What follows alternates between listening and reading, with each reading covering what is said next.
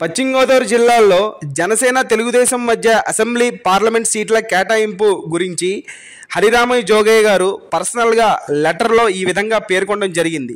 మరి ఆయన నోటు విడుదల చేసినటువంటి ఈ యొక్క అంశం మీద ఏమేమి స్పందించారో ఉన్నటువంటి అంశాలు ఏంటో ఒకసారి గమనిస్తే ఎన్నికల దగ్గర పడుతున్నటువంటి సందర్భంలో పశ్చిమ గోదావరి జిల్లాలో తెలుగుదేశం జనసేన పార్టీల మధ్య అసెంబ్లీ మరియు పార్లమెంట్ సీట్ల కేటాయింపు ఎలా జరగబోతున్నదో అనే ఆతృత జనసేన తెలుగుదేశం సపోర్టర్ల మధ్య కొనసాగుతోంది.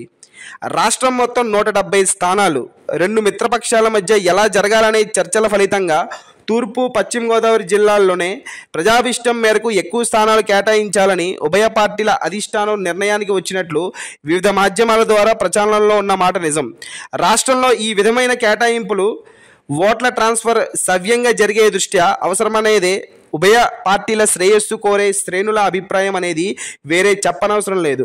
పశ్చిమ గోదావరి జిల్లాలో పవన్ కళ్యాణ్ సామాజిక వర్గం మెండుగా ఉండి తొంభై శాతం ఈ సామాజిక ఓటర్లు జనసేన పార్టీని బలపరుస్తున్న సత్యాన్ని ఎవరు కాదనలేరు. జిల్లాలో తెలుగుదేశం అభ్యర్థులు నెగ్గాలన్నా జనసేన ఓటర్ల సపోర్ట్ లేకుండా నెగ్గలేరన్నది నిర్విధాంశం. ఈ పరిస్థితిని దృష్టిలో పెట్టుకున్నప్పుడు వైఎస్ఆర్ పార్టీని ఓడించి జిల్లాల్లోని సీట్లని జనసేన తెలుగుదేశం కూటమిలో వేసుకోవాలంటే జన సైనికుల బలం ఉన్న నియోజకవర్గాలన్నీ జనసేనకు కేటాయించడం తప్ప తెలుగుదేశం జనసేన కూటమికి వేరే మార్గం లేదు. ఈ దృష్టిలో జనసేనకు కేటాయించవలసినటువంటి సీట్లు ఈ కింద విధంగా ఉండాల్సిందే. అసెంబ్లీ సీట్లు నరసాపురం భీమవరం తాడేపల్లిగూడెం తణుకు నిడదవోలు ఉంగుటూరు ఏలూరు పోలవరం గోపాలపురం కొవ్వూరు ఉండి పార్లమెంట్ సీట్లు నరసాపురం.